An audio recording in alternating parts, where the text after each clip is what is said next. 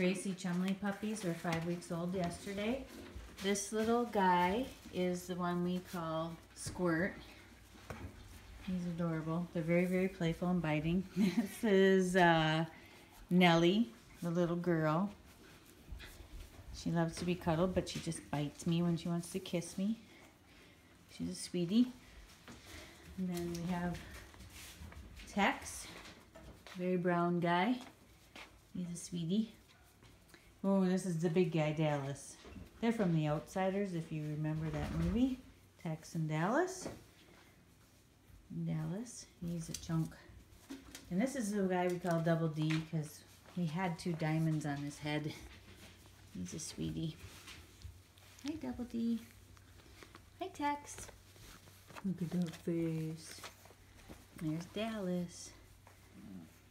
They're so cute. very, very playful at five weeks old. You guys. Come on, Nellie.